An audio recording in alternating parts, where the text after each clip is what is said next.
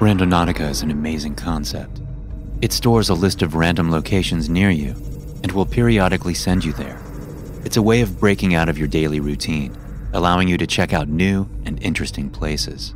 In the beginning, I didn't even care to try it, but I made sure to share my enthusiasm for the concept on the dark web forums I frequented. Since my hearing had been severely compromised after a car accident I had a year back, I was nervous about going outside too much hence why I spent so much time online and hesitated with using the app. It's just weird to walk around, not being able to hear what's happening around you. As fate would have it, there were dozens of people who shared my newfound interest. Most of them were less hindered by laziness, actually going through with testing it out. They'd often share pictures and stories from the weird journeys they were set upon. Through the forums, I actually made quite a few good friends. We even went as far as starting a Discord group, keeping in touch even outside of the dark web.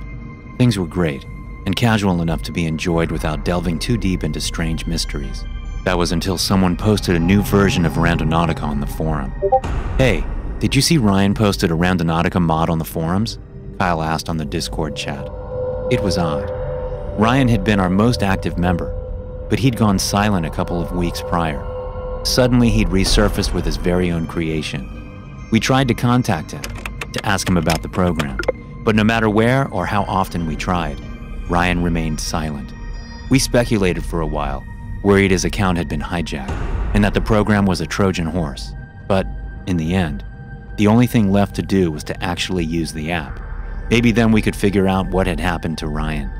So we all downloaded the app and clicked through the instructions until it gave us the coordinates.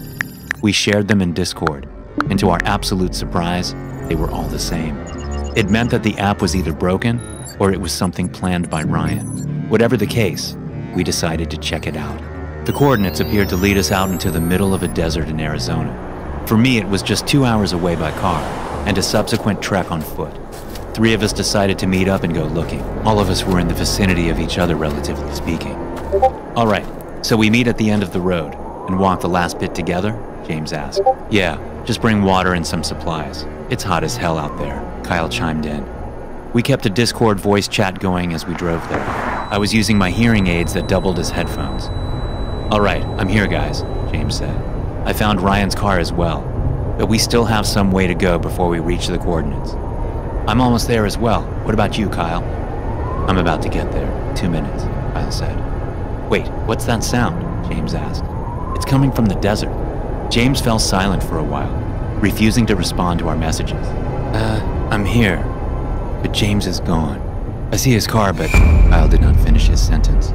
No sooner had Kyle uttered those words before he too fell silent. By the time I arrived at the rendezvous point, they were both gone. The cars were still there, but the people themselves were just missing.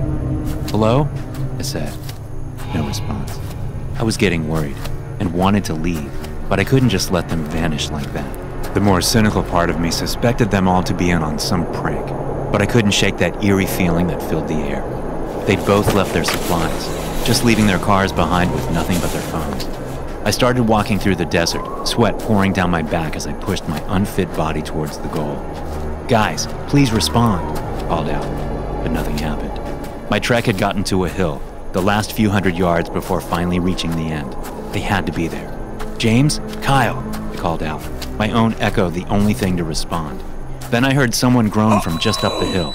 It sounded like James, and though my hearing aid barely picked it up, it sounded like he was in pain.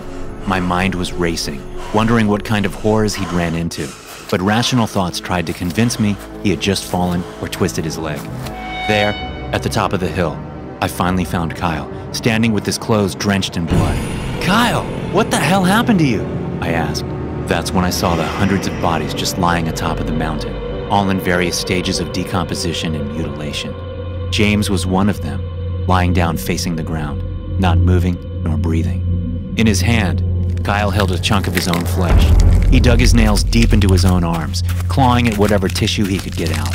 I immediately rushed to stop him, but the damage was far beyond anything I could fix. What the hell are you doing? Stop it! Shouted. The sound. I want it to stop. Please make it stop. There's no sound, Kyle. What are you talking about? I tried to wrap my own clothes around his bleeding arm, but the wounds were too deep. Even a tourniquet wouldn't help, as he'd also torn out bits of his legs and abdomen. I need to do this. just let me do this, he mumbled, his voice fading as blood was draining from his body. The blood loss was substantial, and I knew I wouldn't be able to bring him to safety before he succumbed to his own wounds. Before long, he just collapsed to the ground, his breathing shallow and the life fading from his eyes. He whispered a few final words, but they were too quiet for my damaged hearing to understand. I tried to call for help, but despite having a full set of bars, we had effectively been cut off from civilization. While we could call each other, something was preventing us from calling out from the area. I just left, unable to carry their dead bodies back to the car. I promised myself I'd return with help, if only to retrieve the dead and to shut down whatever had killed them. They never could find that place again. The app just cleared itself once I'd left the area, deleting the coordinates both from our Discord server and itself. I survived because my hearing was damaged. But why my hearing aid didn't pick anything up, I'll never know. When all is said and done, this might just be a mystery I don't want answered. Thanks for listening. If you enjoy these stories, be sure to subscribe to the podcast and check out some more of my episodes here.